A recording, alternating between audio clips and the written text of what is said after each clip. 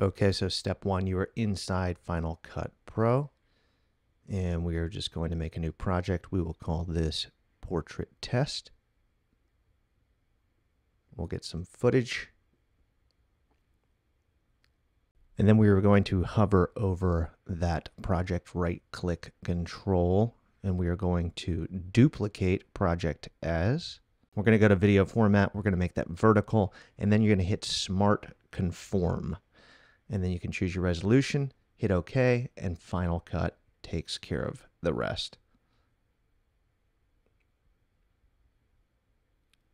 Ten seconds later, you've got your portrait version video. Final Cut will do its best to guess what you think is important in the frame, but then you can go in and make adjustments as needed afterwards, like so, with each clip to get it just the way you want.